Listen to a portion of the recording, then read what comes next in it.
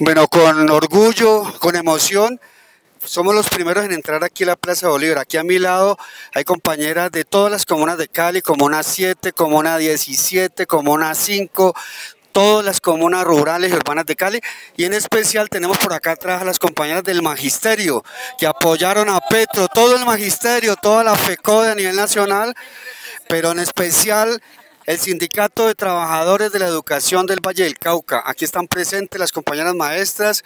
Gracias maestras por la lucha, compañera Yaney. Comuna 7.